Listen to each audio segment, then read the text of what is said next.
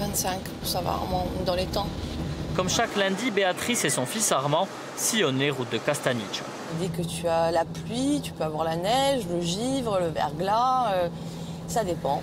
Parti peu avant 6 heures de leur village de Carquet, d'où ils se dirigent vers la gare de Casamotz, 45 minutes de voiture.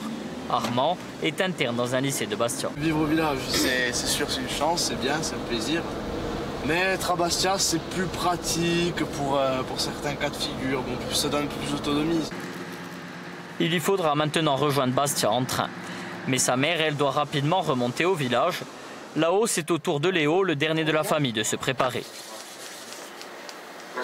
Allez, on y va Lui est scolarisé à Pays et à 10 minutes en voiture de Carquedou.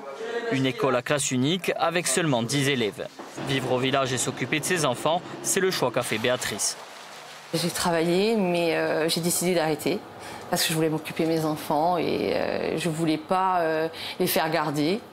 Je préférais être là pour eux et pouvoir m'occuper d'eux comme je voulais et, les voir grandir et leur donner le meilleur de l'éducation que je pouvais. Quoi.